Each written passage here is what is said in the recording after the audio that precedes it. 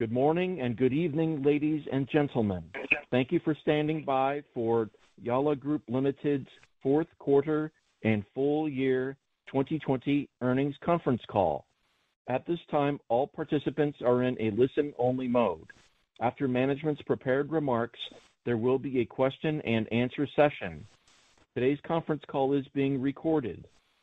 Now, I will turn the call over to your speaker host today, Ms. Kerry Gao, IR Director of the company. Please go ahead, ma'am. Thank you. Hello, everyone, and welcome to Yalla's fourth quarter and full year 2020 earnings conference call. We have released our earnings results earlier today, and it is now available on our IR website as well as on Newswire services. Before we continue, please note that the discussion today will contain forward-looking statements made under the safe harbor provision of the U.S. Private Securities Litigation Reform Act of 1995. Forward-looking statements involve inherent risks and uncertainties. As such, our future results may be materially different from the views expressed today. Further information regarding these and other risks and uncertainties is included in our earnings release and our registration statements filed with the SEC. Yalla does not assume any obligation to update any forward-looking statements, um, except as required by law. Please also note that Yalla's earnings press release and this conference call include discussion of unaudited GAAP financial information as well as unaudited non-GAAP financial measures. Yalla's press release contains a reconciliation of the unaudited non-GAAP measures to the unaudited most directly comparable GAAP measures. Today, you will hear from Mr. Tao Yang, our Chairman and Chief Executive Officer, who will provide an overview of our recent achievements and growth strategies. Mr. Yang will be followed by Mr. Saifi Ismail, the company's President, who will give a brief review of our recent developments. Finally, Mrs. Karen Hu, our Chief uh, Financial Officer, will provide additional details on the company's financial results and discuss its financial outlook. Following management prepared remarks, we will open up the call to questions. Our Chief Operating Officer, Mr. Jeff Xu, will join the call for our Q&A section. With that said, I would now like to turn the call over to our Chairman and Chief Executive Officer, Mr. Tao Yang. Please go ahead, sir. Thank you, Kerry. And thank you everyone for joining our fourth quarter and full year 2020 earnings conference call. 2020 was a milestone year for Yalla. We became the first UAE technology unicorn to be listed on the New York Stock Exchange, an accomplishment we are very proud of, and a testament to our business model, our fundamentals, and our perseverance. Operationally, we also saw strong growth momentum across the board as we continued to expand our user community and advance our monetization capabilities. We are pleased to report a very strong fourth quarter, where Yalla Group's total revenue increased 42.9% QoQ and reached $48.3 million in Q4, exceeding the upper end of the guidance range. We also maintained our non-GAAP net margin at 48.3%.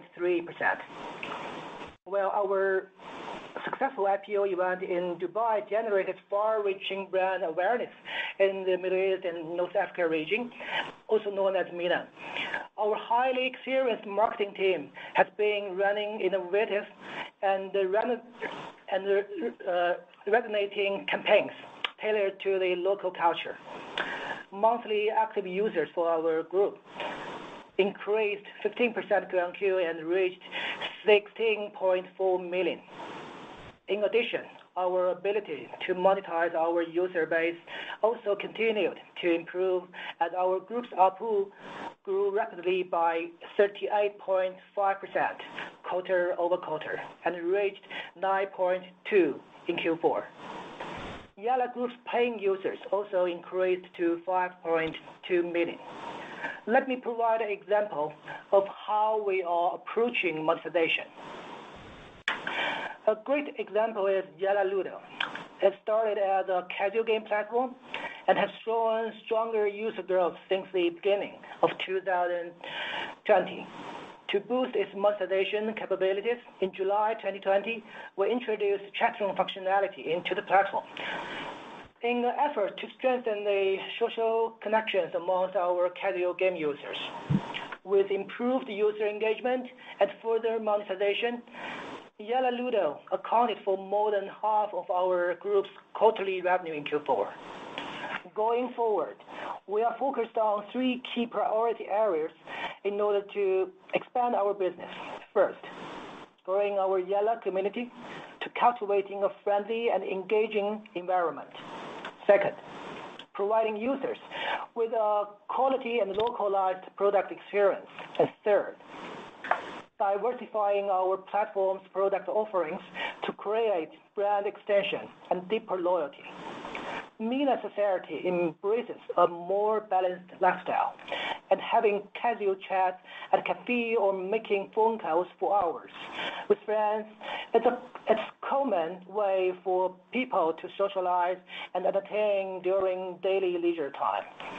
Based on our deep understanding of MENA users' social needs and habits, we designed both of our products to be world-centric, bringing MENA's traditional offline social activity called Majlis to an online platform and enabling MENA users to enjoy their social traditions anywhere and anytime. Expanding our user base is one of our top priorities. With new products lined up for launch this year, we are increasing our marketing efforts and budget in order to pursue new users more heavily while balancing growth and maintaining a healthy community culture and atmosphere. Every community has its own characteristics, and Yalla is a platform for people to make new friends and have casual chats to enjoy each other's company. Users are having pure and uh, relaxed social experiences on our platform.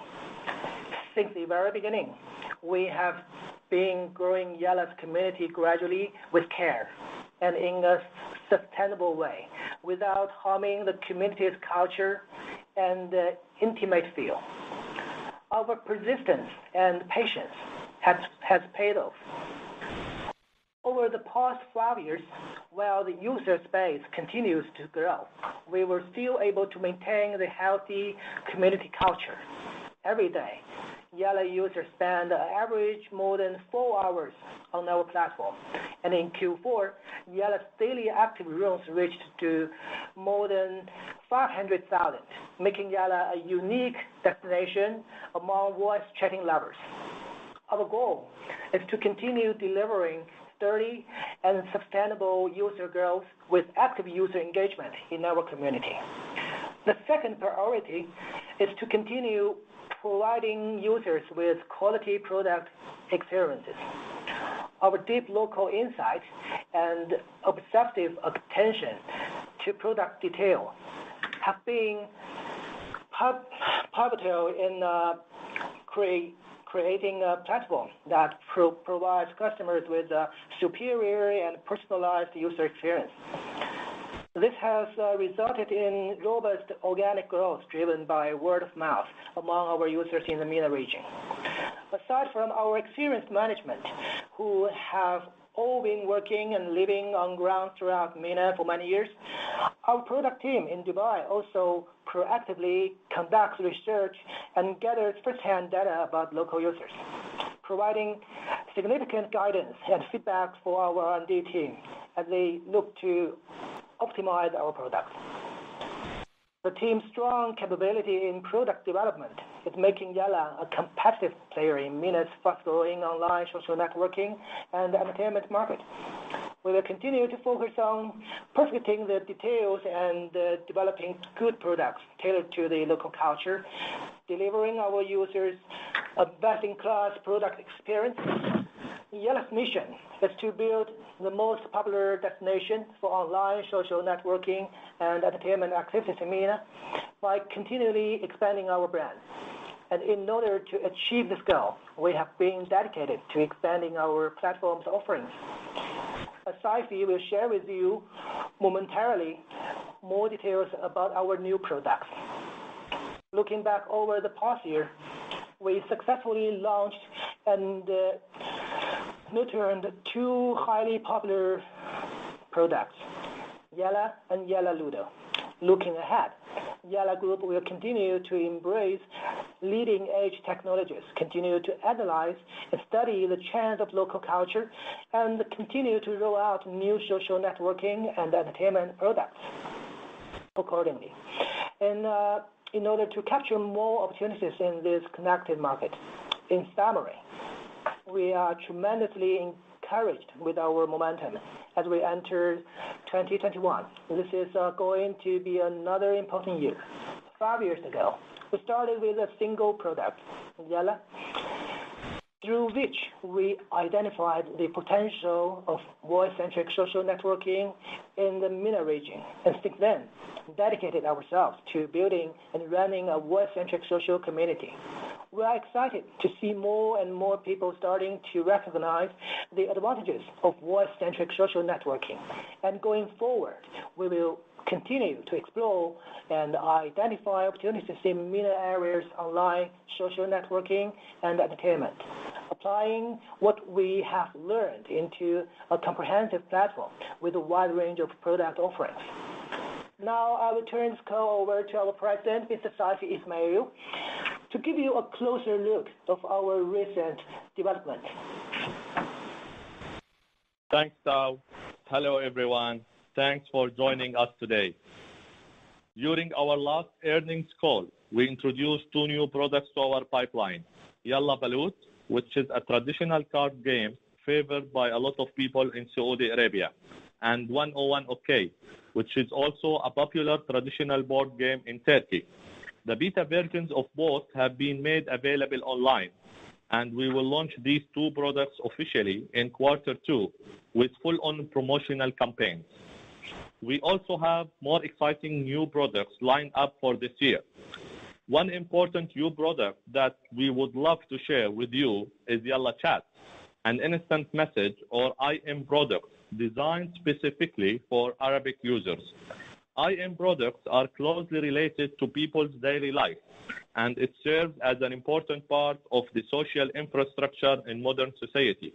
Looking around the world, many countries or regions like United States, China, Japan, Korea, Russia, and Vietnam, to name just a few, have their own IM products that are designed based on local culture and catering to local users' needs. Keeping the Yalla mission in mind, we believe it will be meaningful for Arabic users to have their own IM products, and thus, we aim to launch Yalla Chat this year. The plan is to start it off as a communication platform and continue to add additional functionalities that serve MENA users' particular needs over time.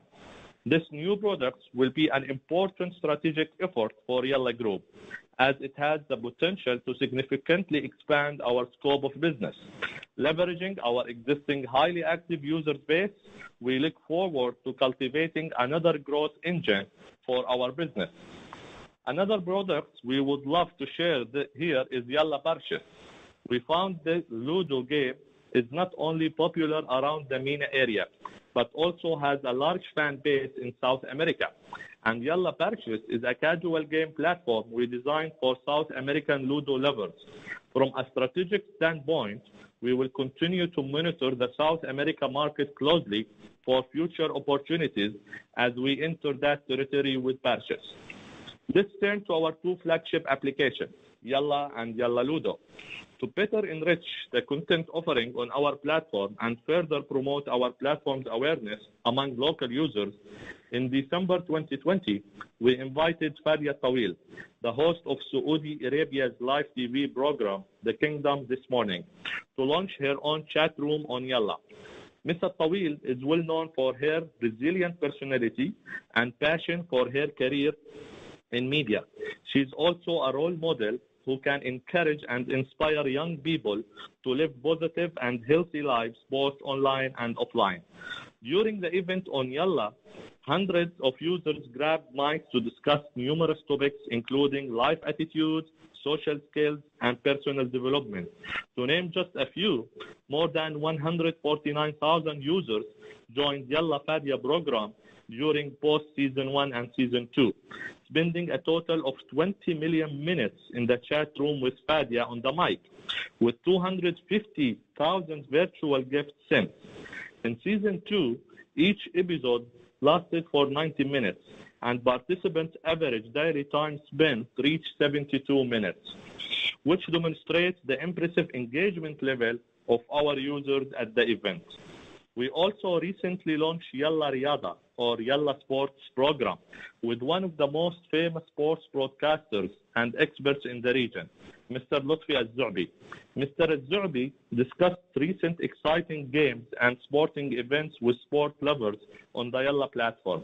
The program provides opportunities for our users from all age groups, specifically youth interested in sports, to discuss their views on football and other sports.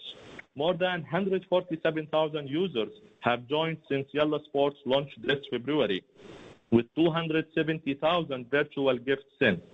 Every episode is an hour long, and our users have been spending more than 40 minutes on average every day participating in the program. Yalla Sports drives more sports lovers to the Yalla platform, creating higher engagement by running operation activities that is tailored to hot topics in the region and local users' interests. Looking ahead, we expect to see more operation activities on Yalla platform with popular personalities and subject matter experts as we continue to hone in on local popular culture and social trends in MENA and provide our users with, with what they love. With that, I will now turn the call over to our CFO, Karen, who will discuss our key financial and operational results. Thank you, Saifi. Hello, everyone. Thank you for joining us. Our leadership position as a voice-centric social networking and entertainment platform in MENA is clearly being demonstrated by our robust top line and bottom line growth that continued in this quarter. Our fourth quarter revenues grew 150.9% year-over-year to $48.3 US dollars, while our non-GAAP net income reached 23.3 million US dollars with growth of 181.6%.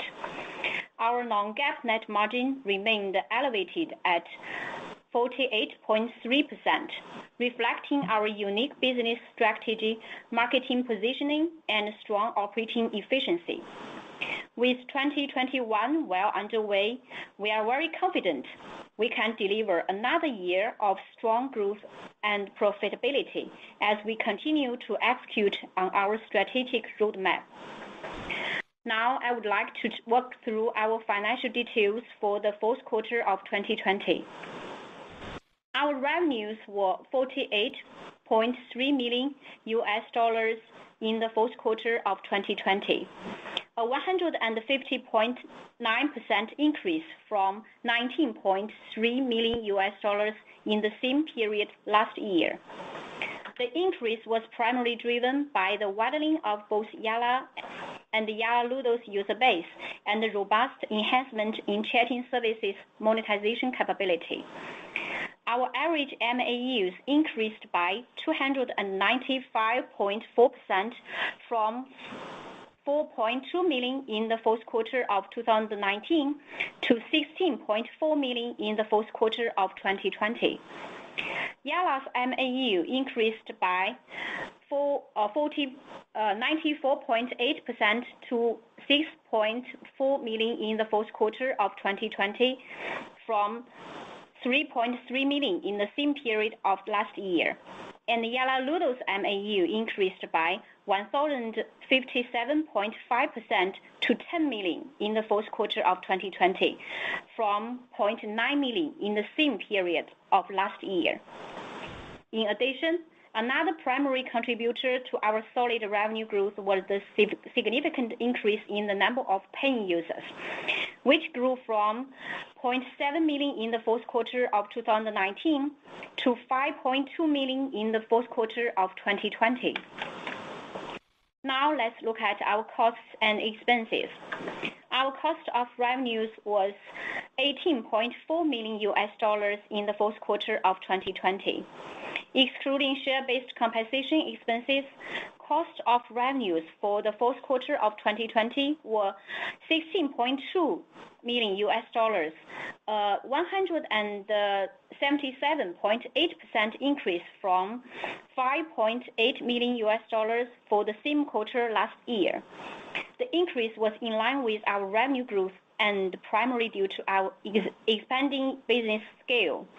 Excluding share-based compensation expenses, cost of revenues as a percentage of our total revenues increased from 30.3% in the fourth quarter of 2019 to 33.6% in the same period in 2020, primarily due to, uh, number one reason, an increase in salaries and benefits for our staff related to the operations, which was in turn driven by an expansion of our staff related to the operations due to the increasing user base of our products. And number two, an increase in commission fee for the third-party payment platforms. Our selling and marketing expenses were $7.6 million in the fourth quarter of 2020. Excluding share-based compensation expenses, selling and marketing expenses for the fourth quarter of 2020 were $4.4 million, a 43.9% increase from 3.1 million for the same quarter last year. The increase was primarily due to higher advertising and marketing promotional expenses as a result of our continued user acquisition efforts.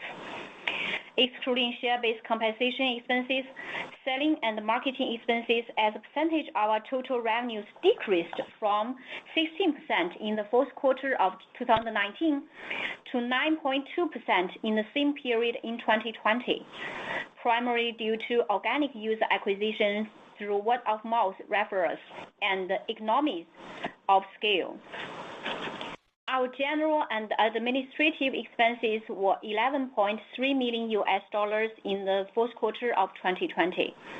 Excluding share-based compensation expenses, general and administrative expenses for the fourth quarter of 2020 were 2.6 million, a 66.6% increase from 1.6 million for the same quarter last year. The increase was primarily due to an increase in salaries and other benefits for our general and administrative staff, which was in turn driven by an expansion of our general and administrative staff. Excluding share-based compensation expenses, general and administrative expenses as a percentage of our total revenues decreased to 5.4% in the fourth quarter of 2020 from 8.1% in the fourth quarter of 2019 due to economies of scale. Our technology and product development expenses were 1.6 million U.S. dollars in the fourth quarter of 2020. Excluding share-based compensation expenses, technology and product development expenses for the fourth quarter of 2020 were 1.4 million, a 223% increase from 0.4 million for the same quarter last year. The increase was primarily due to an increase uh, in salaries and benefits for our technology and product development staff, which was in turn driven by an expansion of our technology and product development uh, investment in new products and services.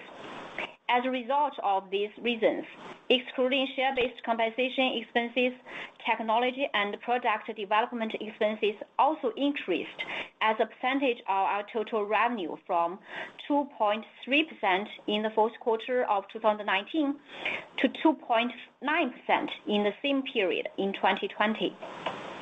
As such, our operating income was $9.3 million in the fourth quarter of 2020, compared with operating income of 8.3 million U.S. Uh, dollars in the same period last year. Excluding share-based compensation, non-GAAP uh, operating income for the fourth quarter of 2020 was 23.7 million U.S. dollars, a 183.4% increase from the same quarter last year. Our income tax expenses was $331.4 thousand in the fourth quarter of 2020. As a result of the foregoing, our net income was $9 million in the fourth quarter of 2020, compared with $8.3 million in the same period last year. Excluding share-based compensation expenses, non-GAAP net income for the fourth quarter of 2020 was 23.3 million, a 181.6% increase from 8.3 million for the same quarter last year. Next, I would like to briefly look at our liquidity and capital resources. As of December 31, 2020, we had cash and cash equivalents of $236.9 million as compared to the cash and cash equivalents of 75.7 million as of September 30, 2020. For our 2020 full year financial results, please refer to our earnings mm, press release for further details. For the first quarter of 2021, we expect our revenues to be between $60 million and $63 million. The above outlook is based on the current market conditions and reflects the company's management's current and preliminary estimates of market and operating conditions and customer demand, which are all subject to change. This concludes our prepared remarks for today. Operator, we are now ready to take questions. We will now begin the question and answer session. To ask a question, you may press star then one on your telephone keypad. If you are using a speakerphone, please pick up your handset before pressing the keys. If at any time your question has been addressed and you would like to withdraw your question, please press star then two. For the benefit of all participants on today's call, if you wish to ask your question to management in Arabic or Chinese, please immediately repeat your question in English. At this time, we will pause momentarily to assemble our roster. The first question comes from Feiya Hao of Haitong International. Please go ahead. Uh, hi, Tao Karen, uh, Saifi, Kerry. Uh, Thank you for taking my question and congrats on a solid quarter. I have one question for you. What is the MAU outlook for Yalla and Yalla Ludo in 2021, and what are your key strategies to reach your MAU target? Thank you. Hi. Thanks, Feiya. Uh, actually, we expect both Yalla's and Yalla Ludo's MAUs to grow by 10%-15% quarter-over-quarter this year, and that's around 50%-70% growth annually. But please note, this number is only for Yalla and Yalla Ludo. We haven't included potential contributions from our new products in this outlook. In terms of growth of the new products, we will need to get more feedback from the market to get a better sense of it. We'll keep monitoring the performance of our new products after we officially launch them, and we will keep you posted of our progress. Thank you. Thanks.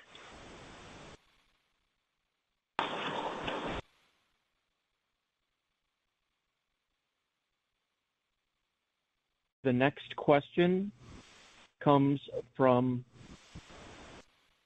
Kaifang from CITIC. Please go ahead. Yes, thanks for taking my question, and congratulations for a strong quarter. So I have a question about the competition. So we see some Chinese game companies have entered the MENA market. So how do management see the competition, and uh, what are our strategies for this? Thank you. Hi, Kaifang. This is Tao Yang. Uh, I would like to take this question. Uh, Actually, Actually, we were not the first company that launched mobile games in MENA market. There were more than 100 Ludo games apps in the mar- in the middle market, uh, MENA market before we introduced the Yalla Ludo. In addition, Yalla Ludo is also competing with other board games. So it, it has been facing competition since day one.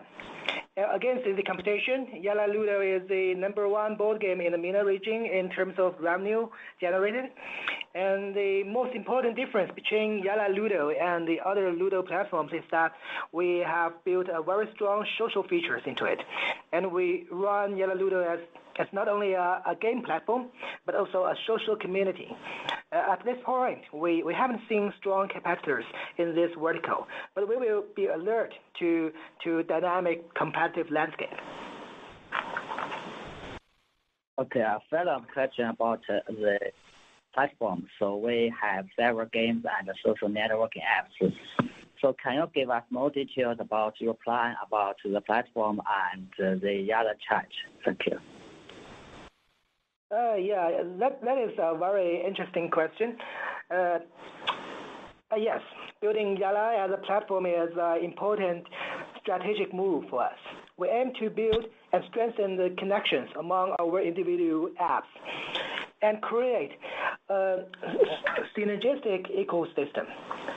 We can drive traffic from one of our apps to another through ads or operating activities. At this stage, we think YallaChat can be a good starting point to facilitate our implementation of this strategy. As Saifi mentioned earlier, our plan is to start YallaChat off as a communication platform and continue to add additional functionalities, connecting all of our apps and services into one large platform. Thank you, Kaifang, for your question. Yeah, very clearly. Thank you. Thank you Thank you very much. Again, if you would like to ask a question, please press star then one on a touch-tone phone. The next question comes from Bo Pei of Oppenheimer. Please go ahead. Hi, management. Um, thanks for taking my question. Congrats on the strong results. So I have two questions, if you don't mind. Uh, first, can you talk about what percentage of Ludo users use the chat feature in 4Q? Uh, I noticed you've been uh, uh, we've no uh we we've entered the South American market. Can you briefly discuss the geographic expansion opportunity, um, for example, the total addressable market in South America, and also in terms of competition, Uh, how does that compare with the MENA market? And then is there any other market, for example, Southeast Asia or any other regions you plan to uh, enter as well? Thank you. Thank you, Mr. Bo Pei, and um, good morning. Uh, I currently, there's over 20% of the users from Yalla Ludo are using our monthly function. I think MENA, and for the second question, I think MENA for sure it is our most important market and main focus for Yalla. Uh, one of the most uh, important advantages we have is our team's deep understanding into the Arabic culture and our strong localization capabilities. When we consider expanding into other regions, we usually begin with countries having similar cultural background. Uh, for example, our uh, first flagship app, Yalla, only supported Arabic in the beginning. And we gradually added Turkish, Hindi, Urdu, and Indonesian, etc.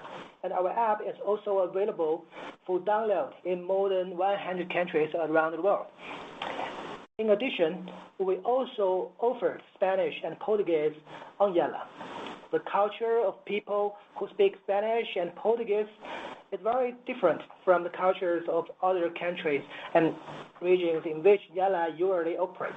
But through operating products in Spanish-speaking countries and serving local users there, our team has gained valuable consumer insights and experiences about this market over the past three years.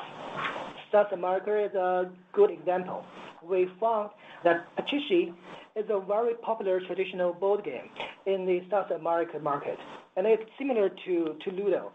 Uh, and with Yalla Pachisi's launch this year, we expect to grow our presence in this market.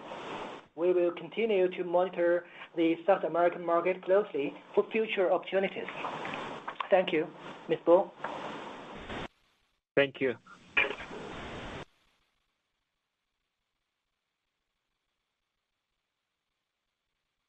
The next question comes from Iris Ge of CICC.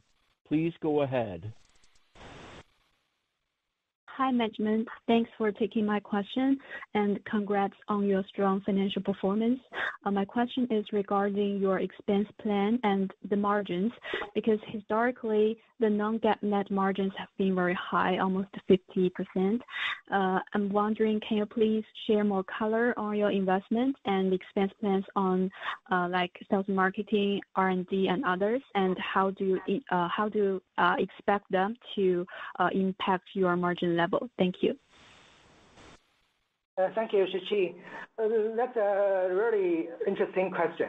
Uh, our net net margin has been at a very good level of around 40%-45% in the past several quarters. Uh, but This year, we don't think maintaining our margin is our top priority. With a new product line up for launch, we expect to increase our efforts to pursue new users, hence our budget in uh, marketing. This is important for the company from a growth perspective and will benefit the company in the mid to long run. Thank you. Thank you, Shiqi. Thank you. That's very helpful. Thank you.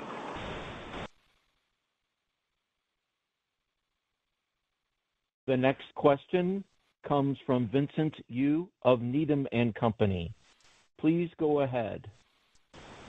Thank you, management, for taking my question. Um, my question is about monetization, a very general question. So, um, uh, For our existing products and our products um, in the beta uh, testing version, any other uh, any new monetization opportunity that the company is most excited about in the next few years? Thank you. Yes, thank you, Vincent. Uh, Yalla's current monetization capability is already uh, very healthy and strong, I think. In the foreseeable future, social networking and entertainment will still be our main focus. And For us, if we decide to give it a try, we will do it gradually and uh, cautiously. For the other businesses, like e-commerce, it's not in our plan at this point we will share with our investors if we have any updates on our company's strategy or pipeline. Thank you, Vincent. Thank you.